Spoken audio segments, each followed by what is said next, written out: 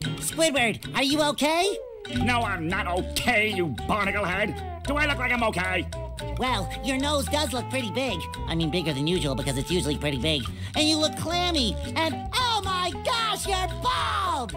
I've always been bald, but now I'm stung all over. Well, according to the Jellyfisher Field Manual, severe jellyfish stings can be treated effectively by applying a thick layer of king jellyfish jelly to the affected areas. king jellyfish? Well, I guess you're off to scale Spork Mountain and die a horrible death under the vicious tentacles of King Jellyfish. I'll stay here, balled up here in excruciating pain. You do that! Don't worry, Squidward. I'll bring back that king jellyfish jelly for you to rub all over yourself.